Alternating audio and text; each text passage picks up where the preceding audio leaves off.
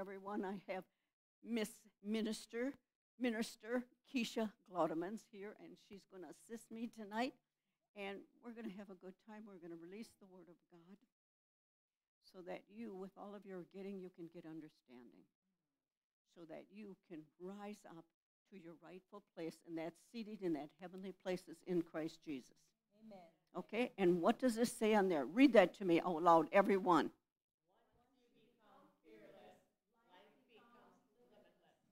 Aha. When you become fearless, life becomes limitless. So if you're not afraid of the devil, you can whip his butt. Correct? So what we're going to do is let's go to Ephesians. This place, I believe, has already been prepared. When we came in, we had wonderful music in the prayer room, and, and the word was coming forth to us. I, I just love it. And then to come in here, it's, it's like you're prepared. Right? Amen. Amen.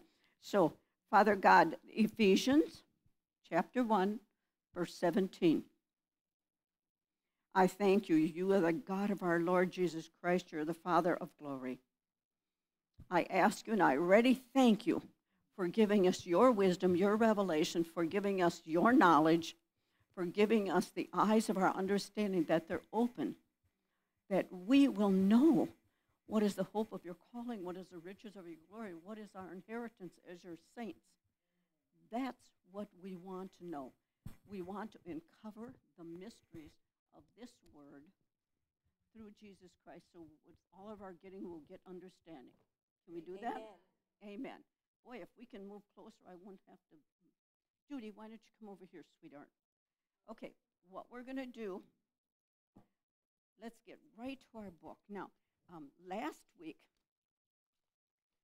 we, we, on page 96, let's just go back and look at a few exciting things. I don't know about you, but it's exciting when you go out there with people and they have a need and you're able to pray for them. Amen. And God gives you that discernment so that you'll know what to say, who to say it to, and when. But we've got to always wait on Him, the leading of the Holy Spirit, and He will lead and guide you. And you, you know what? I told you this before. When I used to get a drunk, you thought you got a high. The next day is so sick. Now, when you get drunk on the Word, you get so high, you're just floating. It just feels so good to know that He is there for us all the time. So when we go back here, I want you to all go back here to page 96. Okay, now is that, can you see her? No, you can't see her. We'll just put that down for now. Okay.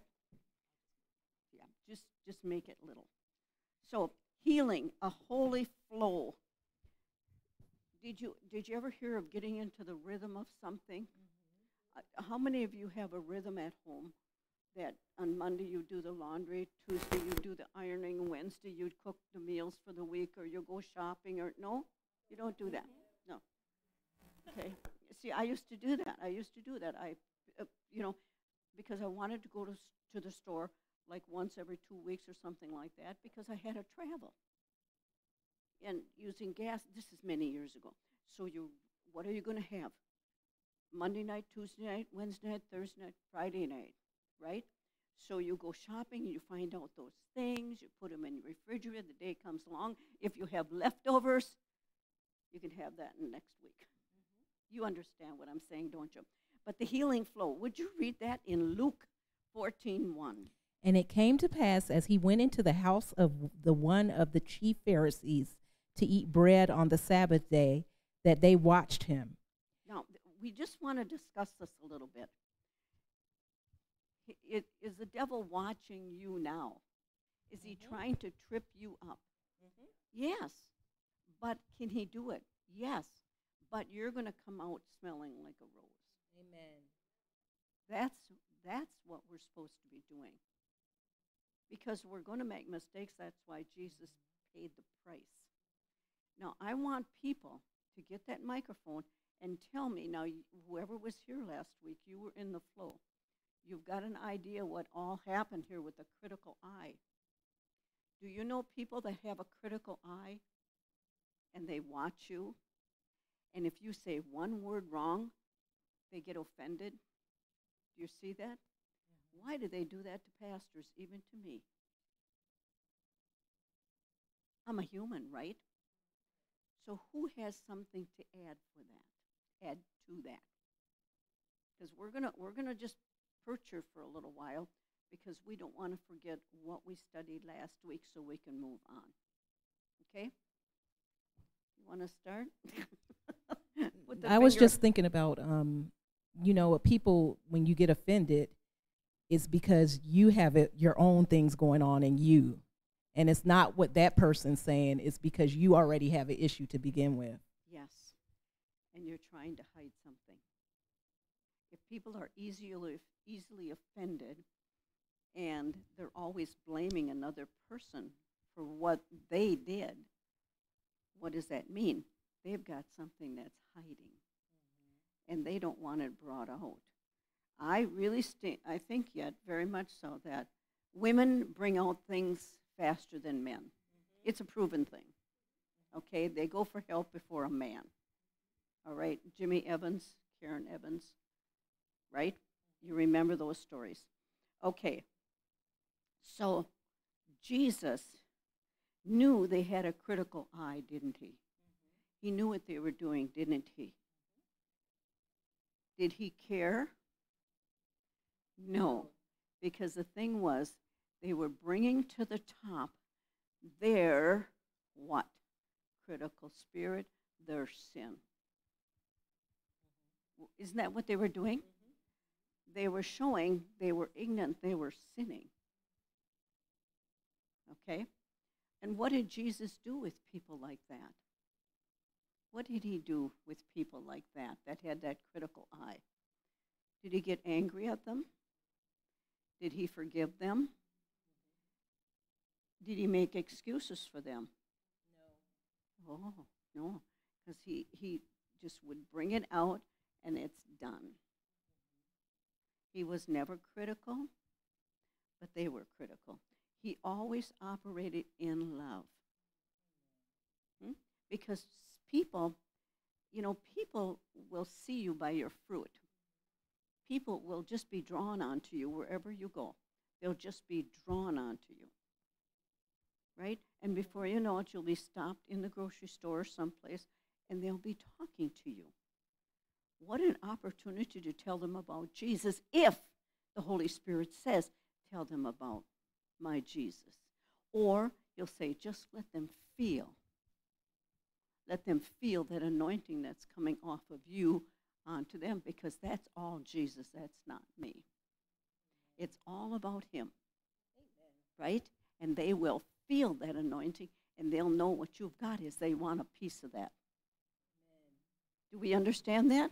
Or they'll become very angry with you. Why are they very angry? Because they're so angry with themselves.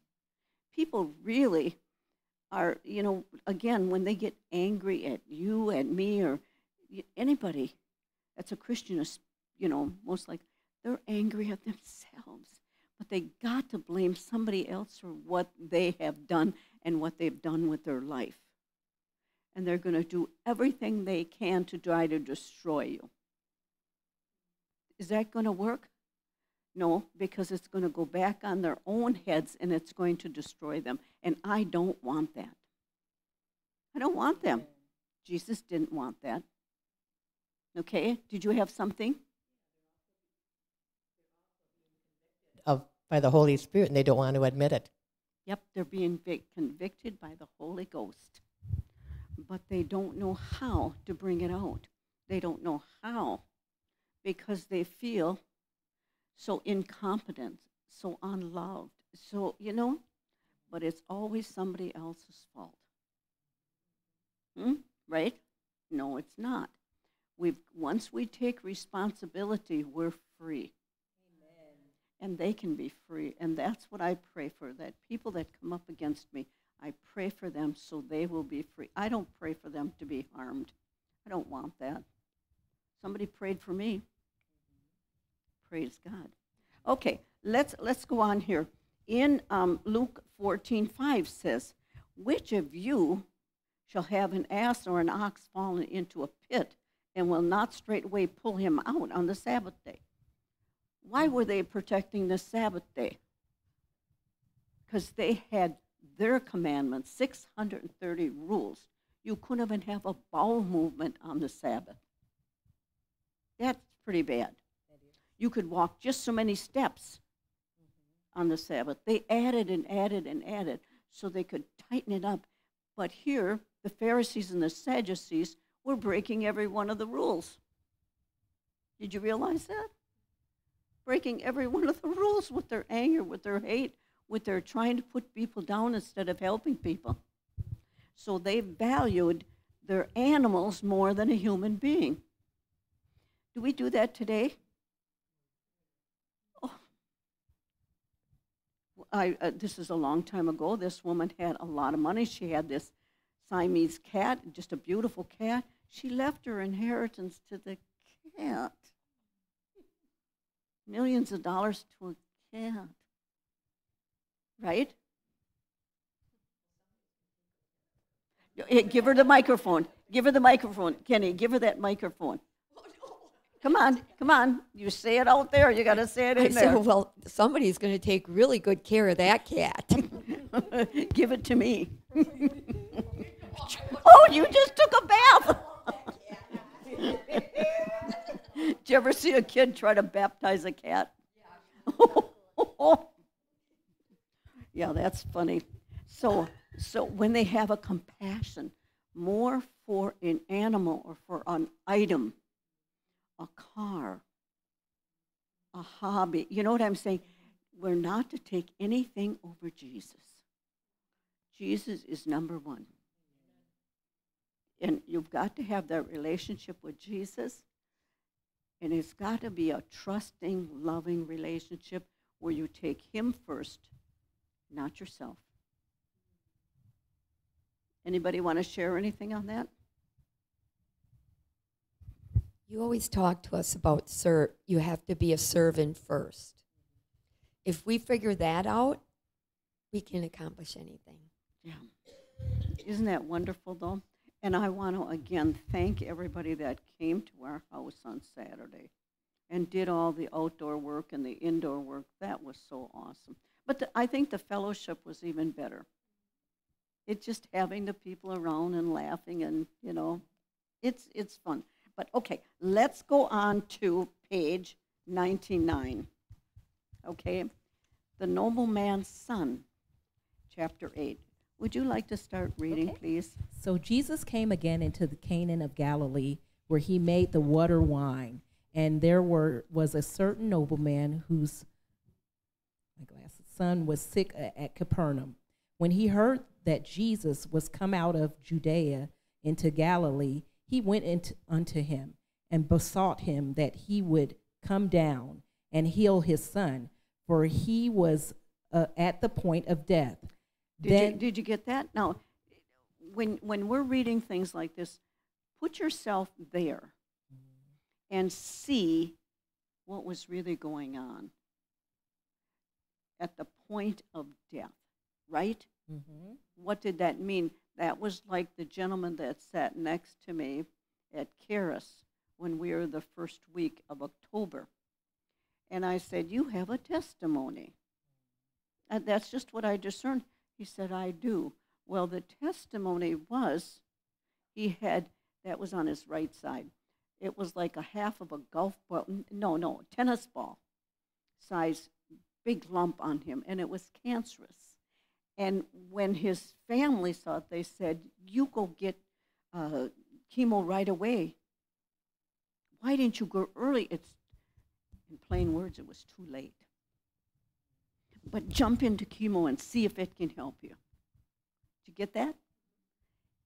But he didn't do that. Him and his wife, because he, his father was a doctor and people around him were doctors. So, what he had to do now, think about this, he had to separate himself, him and his wife, from, from his family. That's pretty hard mm-hmm. when you're close. But he had to separate himself from his family and what happened, they decided they would send him to Charis Bible College so he would be under that word for four hours every day. And that word was flushing over him. That was this year. When we were there the first week in October, he was completely healed of cancer. Amen. That's because the word right now is washing over you, and you don't even realize what it's doing for you. Just like when that shofar horn is blowing, what does that do to the pineal gland? That opens it up, and in, your healing will flow right through you. Things that you have been asking for, dreaming about. There will be things that come that you won't even understand. But God knows what He's doing, right?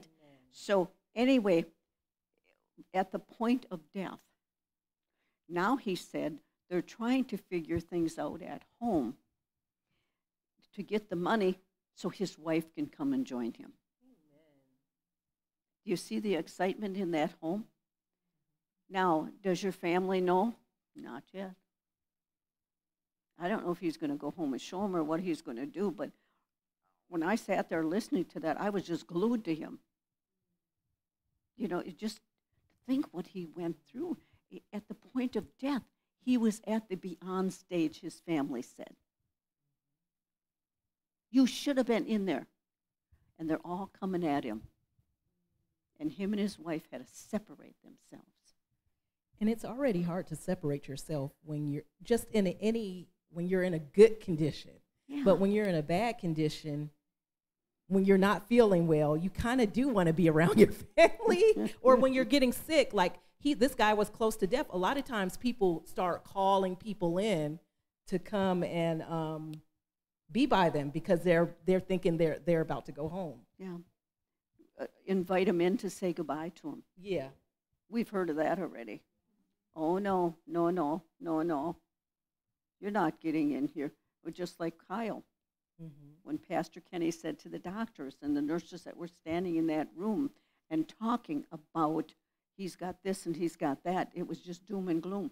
And Pastor Kenny said, Could you step outside and discuss that? Talk about that. He didn't want Kyle to hear that. Kyle was in a coma.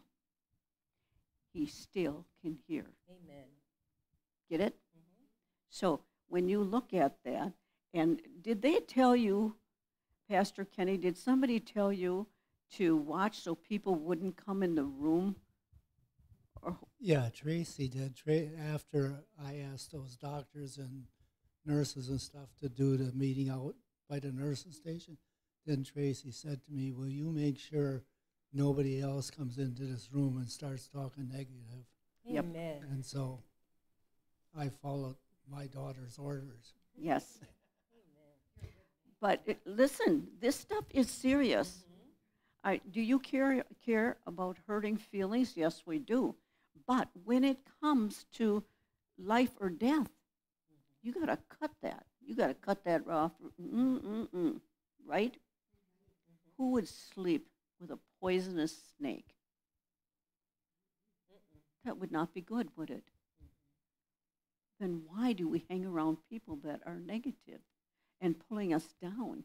Because what happens again here, we have our eagle, and our eagle is flying high. But then the devil starts speaking to him. You can't do it. You're not this. You're not that. You know what you're doing yet? Do you know that you're still drinking and smoking, Dee Dee? And Dee Dee says, Yep. But guess what? I'm free. I'm free. Because while she's in listening to the word, she's getting free. Do you get that? So many times we think we have to clean up before we come to God. Stop it. You don't have to clean up. He will clean you up. I don't care what you do. I really don't. I don't. Just, he'll take care of it. That's not my circus, not my monkey. Okay, let's go on. Think I'm right here. Then said Jesus unto him, Except ye see signs and wonders, you will you will not believe. The noble the noble man said unto him, Sin come down. Sir. Oh, I have these glasses. Sir, come down, er, ere my child child died. Jesus said unto him, Go thy way, thy son liveth. And the man believed the word that Jesus had spoken unto him, and he went his way. Huh. How would you feel about that? Well, let's go on and let's find out what the rest of the story says. And as he was now going down, his servants met him and told him, saying, Thy son liveth. Then inquired he of them the hour when he began to amend. And they said unto him, Yesterday at the seventh hour the fever left him. That was one o'clock. Okay. Is that amazing or is that amazing? That is. And was this a two day travel trip? Amen. See, God, we've got to remember is there time in heaven? God had to put time for us, but in heaven there's no time. You know, and we say the doctor says, do this for just so many days, do that just for many days. And you go, wait a minute, I'm not in a time zone in heaven. I can have that in two hours. No, wait a minute, I can have that an hour. Wait a minute, 10 minutes. What do you mean right now? I want it right now. Amen. And he'll give it, you want to get to that point where you trust God so much that you can have it right now. I don't care how bad it looks. Got it? When you look at that man with that big tumor on there, I mean, he was tired, he was wore down, went to Charis and sitting under the word. That's what his whole key was there. Sitting under the word, going back, looking up scripture, listening more. He dedicated his life to the word.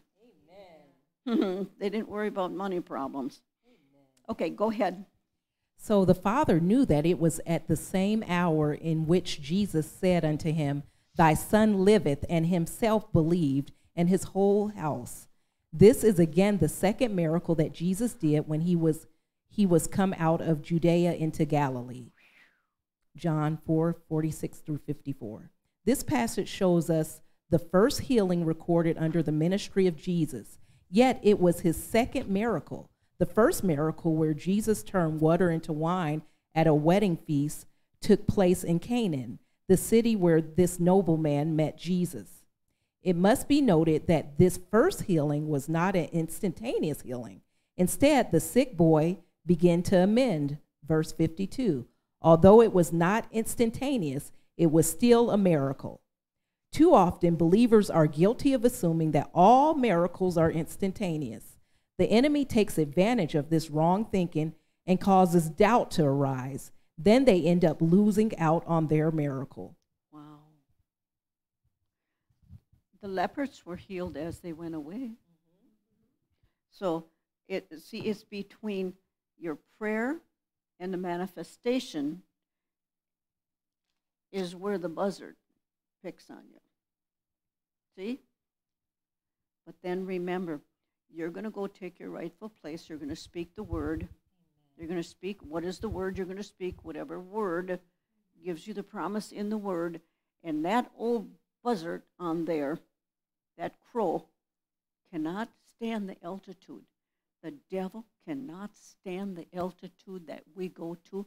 He can't even come near the throne of God. He cannot come near the throne of God. And that's where we go. Okay? Let's go on. The, man, who grew. One healing evangelist of the 1950s related the, the testimony of a man whose growth had been stunted, and he was abnormally short. After receiving prayer in this evangelist healing line, nothing happened immediately, but over the course of several months, the man grew several inches in height. Although his miracle wasn't instantaneous, it was still a miracle. We miss the supernatural by confining God to the instantaneous. This man could have looked at his physical condition after having received prayer, seen no difference in his height, and walked away in unbelief, thinking that the d- divine healing doesn't work. If he had done that, he would have lost out on a great miracle. Obviously, he didn't do that. He believed his condition changed when he received prayer. Wow. So, Amen. so when you're ready to get prayed over and you've got an image of yourself being healed or receiving this word to the fullest, then you get prayed over. Because then you got your agreement, and right there it's done. But now, the manifestation has to come. So you're going to spend a lot of time up here, aren't you? Amen. Why? Because there's a thief that's going to come and try to steal, kill, and destroy. Right? Right. But you're not going to let him. Because during the time of prayer and the time of the manifestation can be very weary. But that's why you got to watch who you hang around because people can steal from you. Right? Right. Okay, we've got that all, don't we? So, a new body part. Another evangelist told of a woman who came into his healing line wanting prayer to have a missing toe restored to her foot. A year later, she found the evangelist at a meeting and testified that God had created a new toe on her foot. She told him that nothing seemingly happened at the time she was prayed for, but she kept thanking God every day for her new toe. Over the course of a year, the new toe began to form and it grew little by little. Just think how the devil could have robbed her of this miracle if she had gone by what she saw at the time she was prayed for. When the prayer of faith is offered, healing always begins. And as we continue to release our faith, the power of God continues to flow.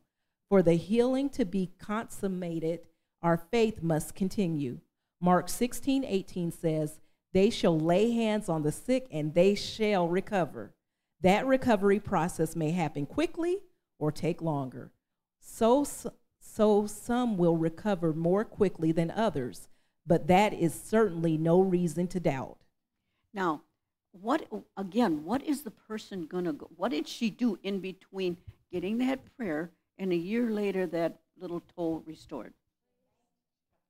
She thanked him, but where was she? You see, the thing of it is, when we when we're out here, okay, a lot of times we go back to what we used to do. Right? Mm-hmm. We get angry. We get offended. You know what just happened? The little toe cannot grow. Mm-hmm. You've just cut yourself right off when you should have been right here. Do you remember the woman who the little boy couldn't walk and she took him and dragged him every day? For, for how long did she drag him around? One year she took him by the hand. What happened the last day? What did she do? He did what? He stood up and ran away, started running. Did you get that? All of a sudden, and he took off. How many people would give up? Because you see, we're, we're in a microwave world, and we want everything the way we want it. And if it doesn't go, we become discouraged. Why isn't it happening for me, Dee Dee? It did. But you know what you just did? You just told me you don't believe. That's why it's not happening. Really. If you get discouraged, and I've done that, and that the only reason I can say the things I do because I've done them. But I've become discouraged. Why, Father? Right there, I told him I didn't believe that prayer. So now I'm trying to push it on my own. Does that make sense? Yeah. But if we don't spend the time in the heavenly places, praying in the Spirit, taking the word, because when you've got something bad going on, you'd better just back away. Hmm? Remember the, the, the, the couple? And they had become pregnant. And the man said to his wife, he was a doctor, I'm going to take off from work. I'm going to take a leave. And you're going to take an abacus and you're going to say, by the stripes of Jesus, he was going to make confessions. Remember that? Yep. Remember that? Every day he did that. Every day he did that. Right? Mm-hmm. What did the doctor tell her husband that he didn't tell his wife? The baby has no no brain. And the guy said, "Oh no." When the doctor said abort the baby, he said no. He said no. But they kept on day after day, never telling her. They had to move, right? A doctor delivered a baby with a brain. It's all recorded. See, we give up because we want to push the chain. We want to do it our way. Guys, I do that. And now I'm like, oh no, I'm going to write that down and I'm not going to let go because right there is where I am. I have to be. I have to be. And I, I was telling somebody, you know, I get a lot of things sent to me to listen to, you know, Julie Green and X22, blah, blah. I, I'm 10, 11, now 12 behind. Unless God tells me to take one and listen, it, when you most likely send me one, I listen to it. But I can't, and I just put it aside. Unless the Holy Spirit said, listen to that one. Why? Because I want to spend time right up here. Because God has great and mighty things for this church. And we want to walk in one accord with Him. That's what I'm expecting from every one of you. If you don't, step aside. Don't get in our way. We got that, don't we? Yeah. So, I'm going to go back to this. Why did they have a critical eye again? What was the devil trying to sow into that meeting that Jesus Christ was there at and doing the healing?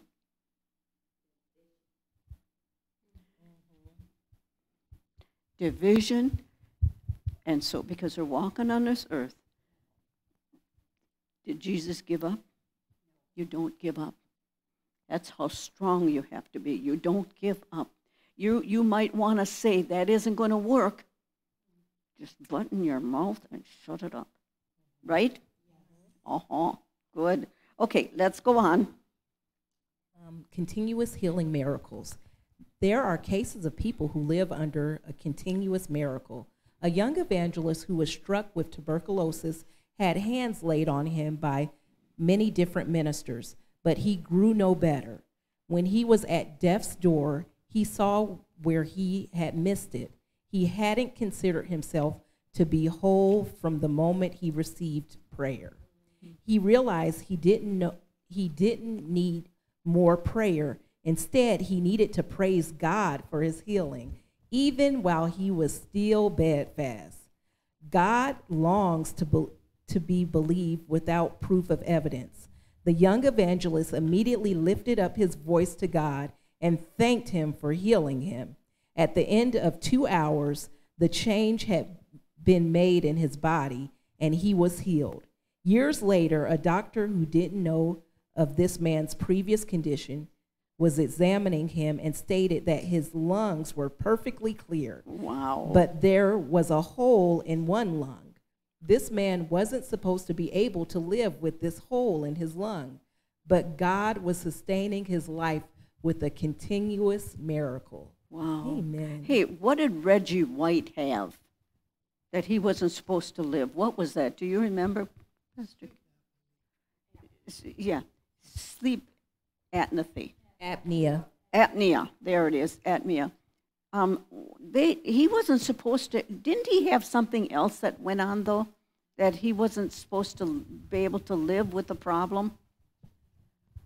I'm gonna Well, look. he had, he had, um, when he was playing, he tore his hamstring, I believe it was, and he was told he he would be done playing for the year, and so he just didn't um, receive that, and he kept praying for his healing. So the night before the game, coming game, he wasn't supposed to play. He went over and knocked on uh, it was coach Holmgren at the time knocked on his door says i'm healed. I'll be playing tomorrow. And the coach says no you're not. The coach wouldn't believe him but he said i'm healed. I will play tomorrow. Yeah. and he did. And he did. You and just he had look a at hole those. he had a hole in his hamstring there. It's something. You Yeah. could put. It wasn't put a connected or- in it. Yeah. Did you find anything on that, Brenda? But, yeah, but he, he played that way for a long time, and they said that was impossible. See, we, what we want to do is get to the point where we believe God's word and not the devil. Amen. Don't believe what you hear down here. Believe what you hear from up there. Believe what's in this Bible. And you will see great and mighty things happen. Andrew was, was speaking, and I was listening to something today. And um, just think about this. He has this big rock, it's huge, and he carved out like a chair, and he'd sit and watch the world, right? And he noticed that there'd be a tree wherever there was a little glitch in the rock. There'd be a tree in there or a plant or something. The birds would go over and drop a seed, right? And that would start to grow. That would split that rock, which dynamite wouldn't split. What, what's the point? What am I telling? Because the word is so powerful. That seed, everything on this earth is from a seed. You're from a seed. Nothing is impossible. And we take that seed, with the word is the seed, we take that word and we speak it out loud. And it has to produce. When you get to that point, you will say there isn't anything. Once you become fear, fearless, life becomes limitless. See, we fear it's not going to work. But that's where we need to be is we with all of our getting get understanding. Can you give that testimony that you were telling me outside the door or would you rather not? Well, some of it has come out. God said start that. I am. Up there nice and tight. I am. Um, I have been working with a person uh, um, on a professional level for our biz- businesses, and um, every time that we have had interaction together, I it was just discerning or sensing that he had a lot of like nervous energy, like maybe anxiety at some level or something deeper seated than that. Because you know when you carry your anointing, it sometimes can stir things in other people. And so um, I didn't do anything. uh, Like I, there was nothing for me to do about it except I was just observing these interactions. And so you were waiting on the Holy Spirit to lead and guide you. yeah, hmm Okay. and today uh, we were. I was at a meeting that he was also at, and um, after the meeting, I went over to say hi, and we were just chit chatting, and um, mm, I was able to pray for him over some situations that he's going through, and that was very sweet. That you didn't expect. Right? Okay. But she desired it. Yes. Did you pray for it or did you just desire? Um, that's a good question. Probably I thought about, you know, like I I probably was, you know, in my internal conversation with the Lord. Yeah. There's a lot of opportunity there. Yeah. If you open the door, I'll walk through it kind of a situation. Mhm. So you will, all of a sudden, there will be an unction that'll rise up inside of you. And you'll want, all of a sudden, if you yield yourself to the Lord, you'll be talking to that person about what they have need of. You've had that happen too. Not just once. You've. I think we've all at one time had that. But that unction is the Holy Spirit, and you open your mouth, and the Holy Spirit will fill your mouth. Mhm. Anything else?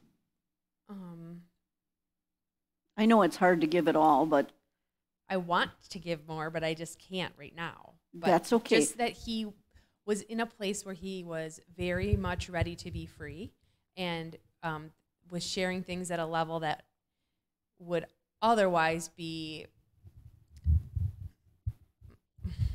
not to say inappropriate. It wasn't that it was inappropriate, but just that you know, like when you're. Let me use this analogy. When you're like driving in a car and somebody you know cuts you off or whatever, and It can like trigger emotions in you, like kind of like we, what you were saying before, Keisha, is when you get offended, it's not necessarily that it was the other person, but if there was something going on inside of you, it can trigger right. that. And so Mhm. your reaction can be unreasonable to the actual situation because it's Right. not that you're reacting to that, it's triggering something more deeper, Right. seated or rooted. It was very much like that, where the things that he was sharing was a lot more it was a lot deeper seated and goes a lot farther back than just the surface situations that were triggering the reaction if that makes sense. So sense what the Holy Spirit was doing is bringing to the top his situations because God had supplied somebody there, such as Allie, that could help him. We don't realize we have that. so i'm excited because i think there's going to be an opportunity in the very near future and he's very ready to be set free which is awesome because when you work with people it can be a struggle if they're not willing to let go fully Absolutely. and he's ready, like desperate to be free. So I'm anticipating if the door is open and I can walk through it, that it's going to be very smooth and easy, just because he's so willing to, like, be worked with. If that makes sense. it will open, and it is Yeah. open already. He Amen. opened that door. He did. Now the Holy Spirit will lead and guide and bring that together. That's the way He does it. It's so fun to be a part of somebody's freedom. It's just so fun. to- Mm-hmm. you know to let because I i we can all say we've been in th- i can see myself in his situation like not different circumstances and different things but i was in a place like that before Right. and i was god put you in my path to be able to set me or be an instrument to be able to set me free in areas and so i am so grateful from where i am now as compared to 20 years ago you know or Right. you know what i mean the I do. capacity in which i've been able to grow because i've been free and when you're held captive to things you can't grow. So just anyway I, from a place of gratitude i was just talking to the lord in my prayer time the other day just that however you can use me lord i'm open and willing to be used because i'm so grateful. It's from a place of gratitude of what you've done for me and in my life that i want to be able to share that same thing with as many people who are willing and ready to receive that. Absolutely. and if i can be an instrument in somebody else's freedom i'm there. I am ready. Yes. And that's that's that's what God wants for us. I know that I have been gifted with that as well to go and and we went to school for that. I went down to Pennsylvania with Dr. Ed Smith. And uh, when I look at how many people I have been able to help over the years, and some people will let you go just so far, and they're ready to break through, and they'll clam up and they've got it so bad today yet. They will not release. It's become, uh, uh, what would you call it? It's the protection of a Yeah. blanket. Poor me. Look at poor me. Everybody's picking on me. But they'll hold that instead of letting go of it and being free and being everything God wants them to be. Or we're just too prideful. We don't want to tell anybody what's going on. Right? I tell you, I, I believe this or not, but and you know this. And when I talked talked Dr. Hamburg, and I went, two guys, especially two guys, went back into the womb, and stuff was said when Mama was pregnant with them. And that baby carried that until one was 40 some years old, a fireman. Isn't it amazing that God is here in the setting free? But the reason Dr. Hamburg said I was so uh, blessed to be able to do that and do it with satanically richly abused is because I prayed in tongues. And the Holy Spirit would give me what to say. I'm not smart enough for that. I'm not. But the Holy Spirit helped me. And when it sets you free, you're free indeed. Isn't that well? And I can work on myself. We can work on ourselves. So thank you. You want to share anything more on that? No? Okay. Um, let's go on. How are we doing? Oh, we're doing great. Which one are we at again? Seeing G? No, no. Seeing Jesus is Yep. enough. But let me just tell you, remember last week I said about obituaries? it says in the newspaper, and they fought a courageous battle against cancer. They, eh, remember I said that? Just ticks me off so bad. They fought a courageous battle against cancer and they died of cancer. Does anybody get that? They lost. They fought a courageous, are you, if it was a courageous battle, they should be healed. Why does that get me upset? Because it's denying that Jesus is the healer. it is, and they just flow right into it. You know, or another person that you know that you are working with could not believe that God could do that for them. Or God does it for somebody, and then they walk away right back into their same situation, and then you look and you think, it's not going to be long, and they're going to be gone too. Because we cannot come like myself. I'm free from alcohol, I'm free from smoking. But if I go back to that, do you think I'm going to be in good shape? I'm not going to be in good shape because I'm going back to where I was, and I was in bondage.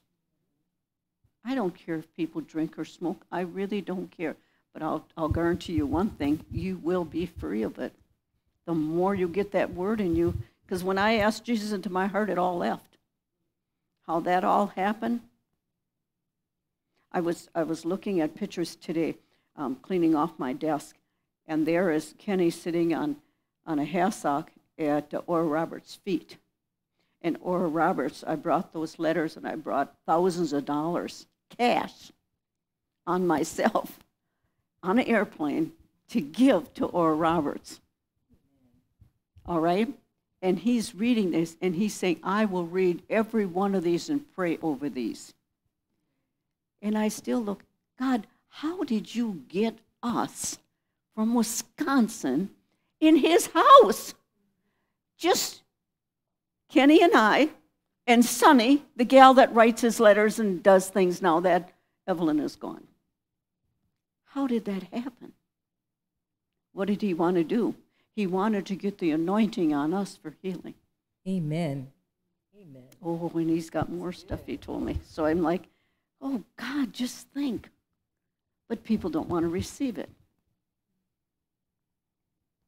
Got it? One of these days you will. Seeing Jesus isn't enough. The miracle of the healing of the nobleman's son speaks expressly to our, to our time because it shows us that Jesus doesn't have to be physically present for one to obtain healing.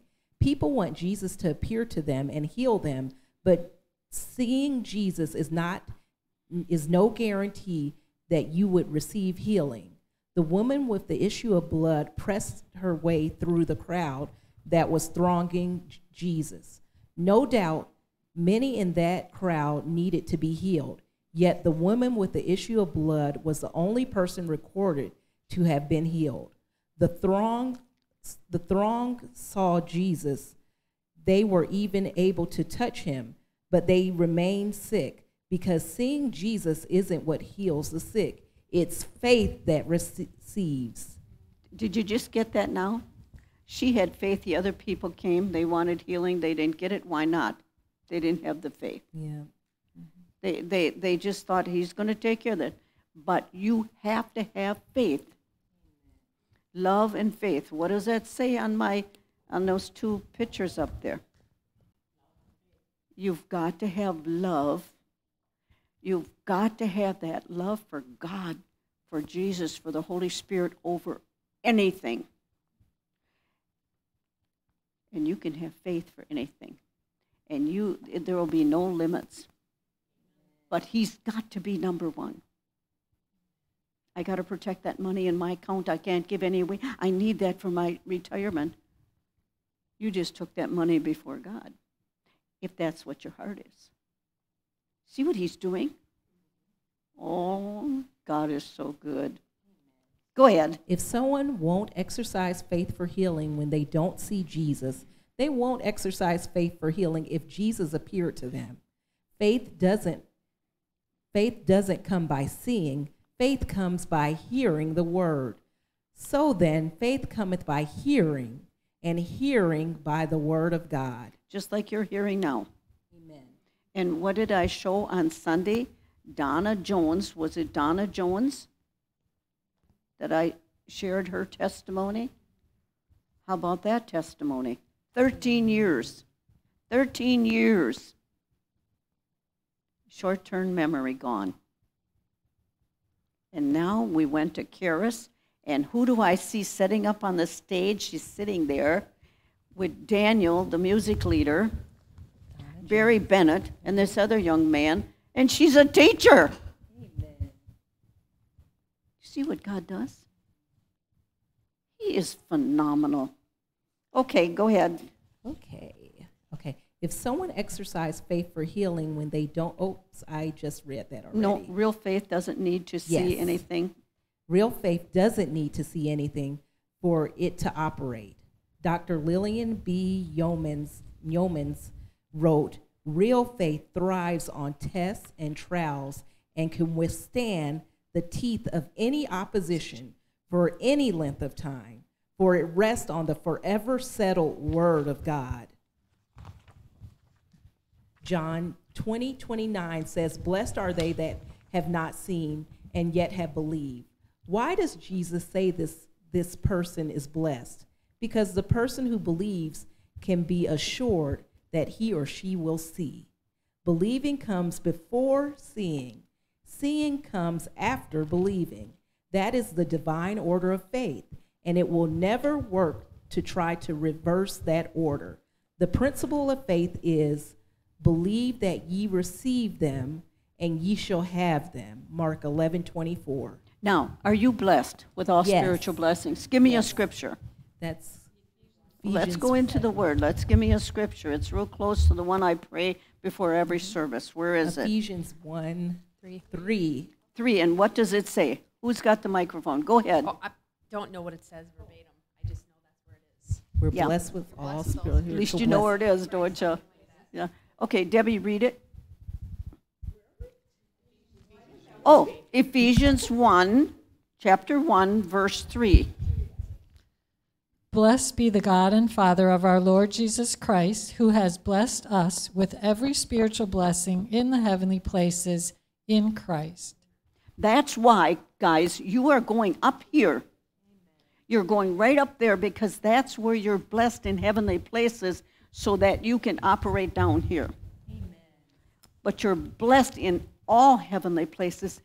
Everything in this word, you have a blessing. The only thing we have to learn to do is to shut our mouth once we've prayed. But there's another thing that's really important. You've got to watch who you hang around on this earth because you see this guy on there? The devil? The crow? It's a crow. But the devil will work through family members. He'll work through your neighbors. He'll work through your mate. He'll work through your parents. He'll work through. When are we going to get it? When are we going to get? But I don't want to hurt their feelings. That's okay. Go ahead and die. I mean, think about it. Well, I don't want to upset my husband or my wife. I don't care. Go ahead and die. You want me to say your funeral? I'll say, you were a coward. Isn't that what it is? Well, I don't want to hurt anybody, Pat. Brenda, I don't want to hurt anybody. That's okay, then die. I really don't care. Because he took care of everything. He took care of everything. And he's blessed us in all what? Spiritual blessings in where in where of the heavenly places. So that's where I that's where I've got to that's where I've got to go. Is the heavenly places. That's what I have to stand on. Am are you with me? Amen. Okay, let's quit right there. Believe the word next, right? Is that where we got? sent his word. No, he sent his word. Let's Yeah. go till let's stop right there. Okay. And does anybody have anything they want to say here? Is there anything you want to add? Or have a testimony? Go ahead, Judy. Well, um, I had an appointment yesterday, and actually, I was it was at the post office, and I was walking out, and um, the Holy Spirit said to me to give. There were two people that helped me, like to to do this appointment, and the Holy Spirit said to give them a card. So I was already going out the door, and at first I'm like, you know, really, and. I got two cards out of my purse. I went back. I said, You guys were so nice and so helpful to me. I just wanted to bless you, and this is the most important question you'll ever be asked. And then I just left. Good. You gave him the card. If you were to die today, where would you go, heaven or hell? Most important question you'll ever be asked in your whole life. I carry them. I carry them and I give them out. Go ahead. two weeks ago in the morning, I was getting ready for work, standing in front of the bathroom mirror, and I wasn't leaning, I wasn't doing anything, and all of a sudden, just this pain ripped across my back between my two shoulders. And thought, okay, talked to it, told it to get off, and it did pretty much right away. And then last Wednesday, before I came here, I'm on the phone with Paul and just putting dishes away again, not leaning, not anything heavy in my hands, and it happened again, but so much worse.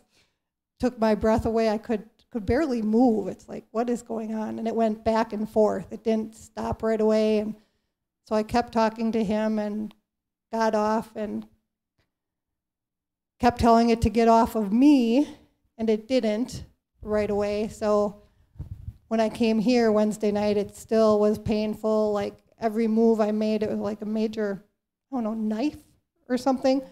But when I got home, the Holy Spirit said use the heating pad.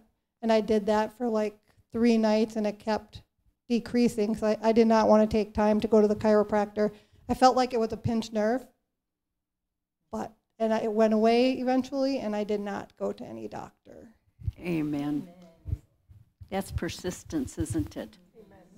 You know, let's say the seed. Let's look at the seed. Everything comes from a seed. Every tree that's out there came from a seed, right? Every insect came from a seed. You, again, came from a seed. We were listening to this. I was listening to this today. So, everything, why did God use a seed? Because the power is in that seed. Remember, when it drops in those little niches in the rocks, like when we're in Colorado driving along, I'm like, look at that. Look at that tree, that big tree sticking out. Down. Where does it even get nourished from? Because it's on a rock. Then uh, on my back porch at my house, you go around the side, one of the mullein plants, the little seed. Here's a mullein plant sticking out from the side of the brick on the side of the stoop. And I'm thinking, boy, they get into, there's minerals, there's got to be minerals in that concrete or something that it's drawn to. But God uses seed, and His Word is the seed, and He tells us to take that seed, that's the Word. Do you need money? My God supplies all of my needs according to His riches. Money, you come to me. That's what you say, and that money has to come. Because when you tell that money to come, you just put the seed in the ground of your heart. You are ground. And that will grow. And then you do like uh, George Pearsons. He's the prosperity man. He's, I prosper in every, every place he's going, I prosper. I always prosper. Money's always coming to me. I prosper. I love to give, and I love to. You see what he's doing? And then we've got Jerry Savelle. He's the favor pastor. He has favor everywhere. He, do you see what I'm saying? Oh my goodness. We can have all of that. But we've got to know that there's the seed, and we put that seed in the ground. The nutrients from the ground come, and that's the catalyst, the seed. And the seed is in the soil and it grows. Did you get that? It grows. Do you want anything to add to that? No? It grows. And when it grows, it grows. Well, I- oh, uh, the word picture, we went over and we got some apples from her house. And I think we got like a bushel full of apples. I think we got a lot of apples. And now I'm like, what am I going to do with all these apples? we have all these apples now. And I'm like, so I was trying to get ideas like, okay, what can I do with apples? Okay, I can eat one every day. Okay, I can do this. But expect the harvest. Exactly. Expect the harvest and expect that you're going to have money to put into the kingdom of God, or expect that, yeah, it's just good. It is. And come in an expectation because harvest is here right It is. now. Now remember, I told you about my my uh, watermelon. How did we get the watermelon seeds out there? First, you you spit them. Cordell is the one that him and I would spit, and then Keegan. Where's Keegan? Oh, he's in the back. So the three of us are spitting these watermelon seeds out in my front, right in that little section there. Okay? One seed came up this year. Thing is really big. The first watermelon, how much did it weigh again? 28 pounds. And it was delicious inside. Then the other day, who picked it on Saturday? You picked it, and that was how much? Almost 20. 19 pounds, 6 ounces. And it was delicious. I mm-hmm. still have some of it. And I'm just, yeah, enjoying it every day. It doesn't rot like the store ones. Did you get that? Because it's all natural. And the tomato plant, one tomato plant. Y'all saw my tomato plant. There's still, I started counting, there's about almost uh, 76 uh, tomatoes on that yet. One plant. Here, take this. I've been ooh, been picking raspberries since I don't know June, and the same with strawberries. Now the strawberries are basically done. They're supposed to be ever-bearing strawberries, which in my mind means they'll come early and then they'll come a li- come late. These strawberries never quit. They just keep going and going and going. No, the strawberries. But the raspberries are ever bearers, and they have ba- basically been the same. Yeah. I've never ever picked a raspberry in late October. Yeah. And I'm basically getting as many now as I have been for a couple of months. Mm-hmm. And they are delicious. They are. She gave, she brought some on Saturday, and I hid them way in the back in the refrigerator. I thought I gotta keep like Keegan's nose out of there, and you know, there's just certain people you don't you touch. but they are delicious, and the beans, they were sweet. See, I like raw beans and sweet, but everything comes from a seed. The Word of God is the seed. You take that seed and you speak whatever you have want. So each one of you think of something you have need of. Do you have need of healing? Do you have need of money? Do you what do you have need of? Peace, love, joy. What do you have need of? Right now, think of that in what do you have need? Get a picture of it, of what you have need of.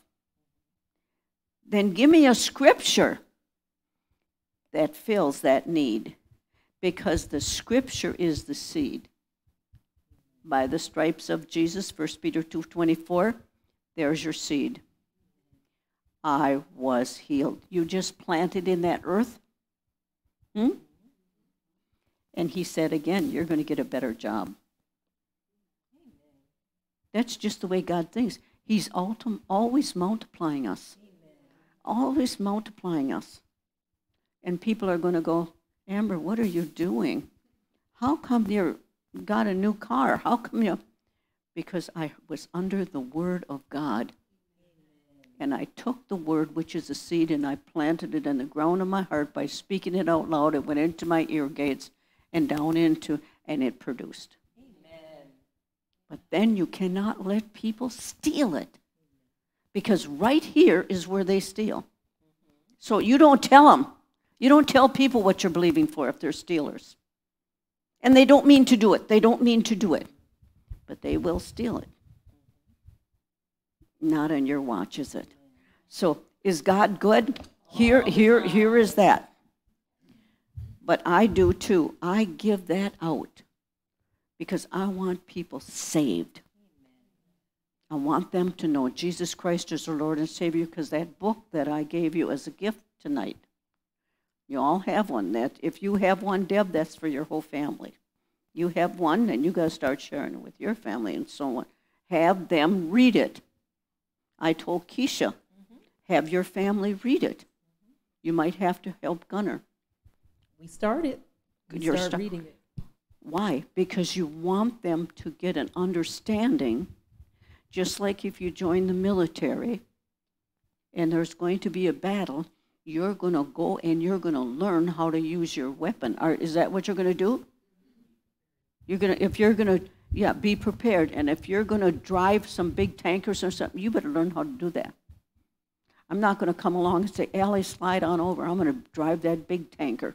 I get in there and I say, how do I start it? And she's going to say, Get out of that seat. Because I didn't get trained.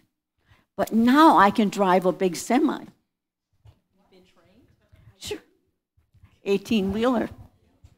She just won't- won't let me on the road.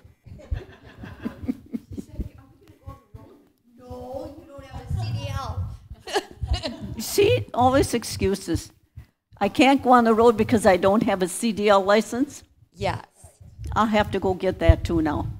You should have did that during COVID because then you didn't have to take a truck out and test it. They would have just gave you a license. Oh, Pat, we can do that. No, she needed to. She needed to wait. Because that little thing, when we're working out, she's got more muscle. than I thought, how is she doing that so easy? Consistency. She's always done it. I mean, She's got, mu- you wouldn't think there'd be any muscle there, but she's got. And Josh loves to pick on her. But anyway, please take it, read it, and share it with your family. Have your family read it. Don't force it onto anybody, but say to your kids, oh, you're going to read this now. You're going to read this. Right? Give it to your mate. Say, you're going to read this. But pray first that they're ready for it. We understand it. Okay, let's do this here. We're going to take communion, and then what we're going to do is, is we're going to take anybody who wants to give a tithe or an offering or whatever. Remember, whenever you sow into the kingdom of God, God promises you you're going to get a harvest. Amen. You know, that is, do you have a? She's got one. So if God says, you give and it'll give unto you in abundance to the full, to the overflow. Pressed down, shaken together. He's not kidding. He's doing it. Right? So, why, why does he want me to take communion all the time? Why does he want me to do that? Remember my covenant. He took the lashes. He went into hell for me. He had the crown of thorns on him. He ransomed me. He bought me for a price. I'm not my own. I belong to him. My daddy loves me. Does he love you? Yes. So, Father, I thank you in the name of Jesus. Break that and eat that knowing what he did for you.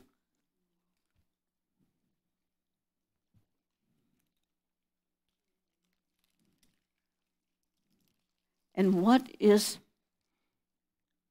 what is this grapefruit juice symbolizing to you? The blood of Jesus, and that's when he shed that blood. And when you said, Jesus, come into my heart, you became the righteousness of God, and he seated you in heavenly places. Guys, you have got it made. Do you know how beautiful it is out there? You know what? When I come to church on Sunday, you know why I dress up? I'm coming before the throne. I'm coming. I feel like Queen Esther. I'm coming before the throne and I'm not going to miss out on any. But I want God to say, There's my little girl.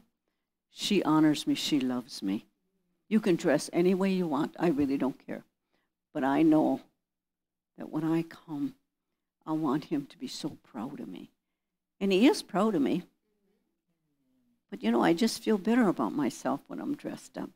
You understand what I'm saying? Yeah. So, Father, I thank you that you have made us the righteousness of God. You've covered our sins. We've been forgiven. And I thank you in Jesus' name. Let's drink.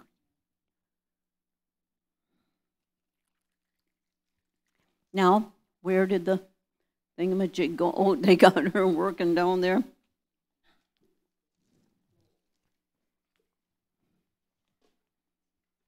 to make sure I got that on the right page. And Pastor Kenny is going to pray over that. Okay? Heavenly Father, we praise you and thank you. Father, it was seed time, and we sown a seed. Now, as Minister Keith says tonight, it's harvest time. So, Father, we're believing for that harvest, and we know it's coming. And so we give you all the praise and glory in Jesus' name. Amen. Amen. Amen. Just think that's as simple as it is, and now he's going to bless you. That's his rules, that's his laws. Man doesn't think that that works, but God guarantees that it works. Now, real quick, anybody else have another testimony? Give it to me. Oh, excuse me, Debbie. I just want to say um, tons of favor at work.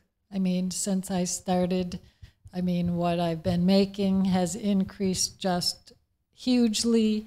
Um, I work with wonderful people. Um, the boss in the beginning, um, like I said, very, very, very nice and generous. But I mean, he would let us let me go early sometimes, or let us, and it might be five minutes.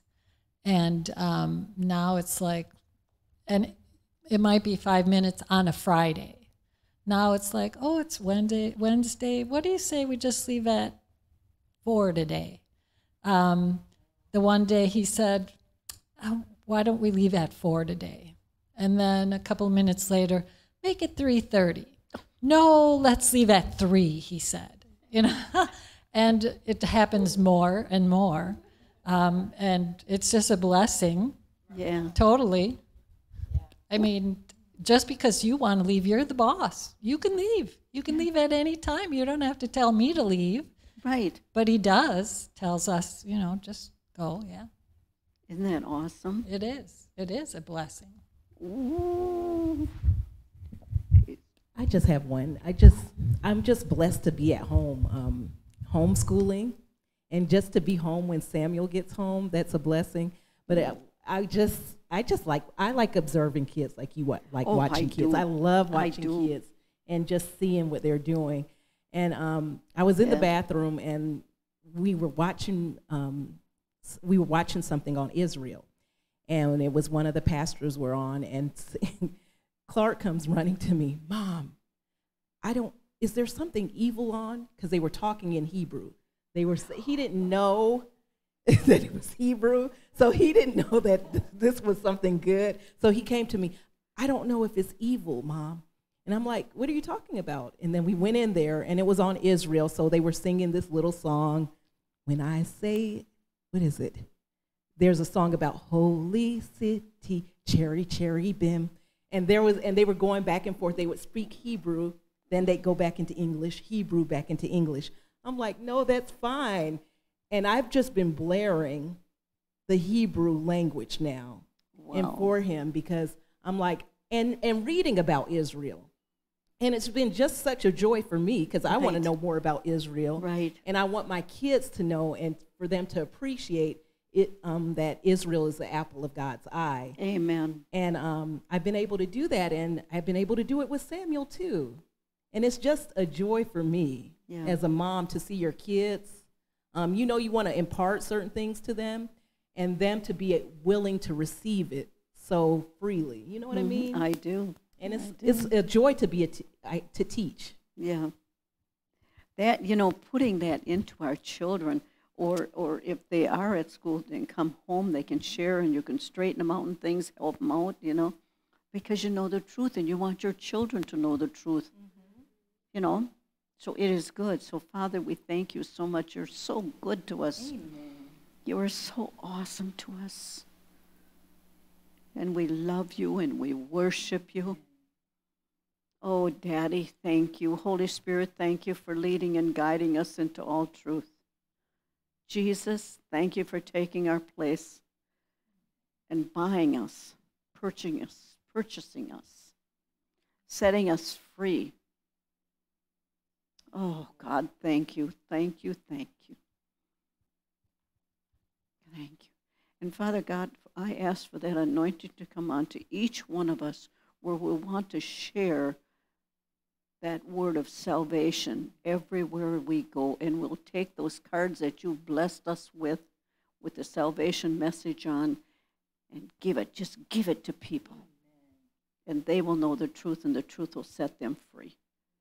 Do you believe it? Amen. Amen. God bless you. Have a wonderful night.